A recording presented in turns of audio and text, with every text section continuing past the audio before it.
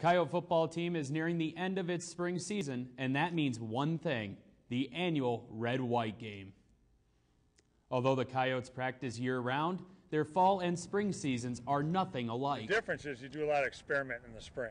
Not only with personnel switches, some guys offense to defense, maybe some guys playing a little more guard tackle, and, and we move him to center just to see how he does. Uh, but you're also going to do some scheme things. Uh, uh, you know, we put a little more option into the spring, see how we look at that, uh, screw around some more spread sets, because, uh, you know, there's no game.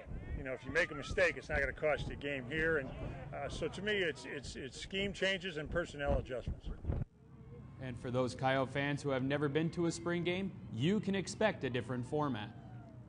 Uh, you know what? It's just a show. Uh, come out and see the kids play, run around with.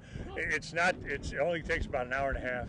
Uh, it's a different kind of football game. Be very fast paced. We choreograph a lot of stuff, and you know, it's a chance to see spring football. I mean, that's what you do in the spring when you got college football on campus.